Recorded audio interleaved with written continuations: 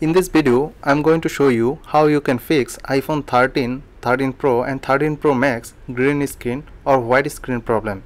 This is very common issue, Super AMOLED and Dynamic AMOLED display. Nowadays, most of smartphone like iPhone, Samsung, OnePlus, Xiaomi, most of smartphone brand using AMOLED LCD for their flagship device. So this is iPhone 13 Pro Max. Uh, I'm going to show you how you can do that this is very easy and simple method.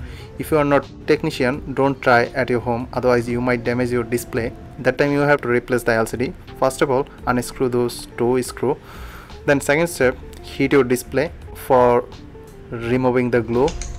Second step you need this tool to remove the display. This green screen or white screen problem could happen suddenly without any reason. But most of iPhone 13 series green screen problem happening when customer upgrading their smartphone the research saying when upgrading their smartphone is overheating. Because of this overheating connection having issue.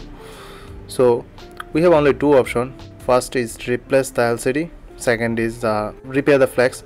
So I'm going to repair the flex. All you have to do this two point this point as you can see this point you have to do it and that another point this point also. So these two point you have to solder I mean jumper.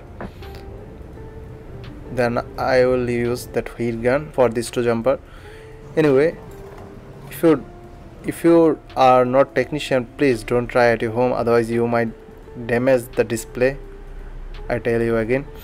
So I'm going to jumper this two point. Very nicely you have to jumper as you can see this two point is jumper now. Let's check it out now.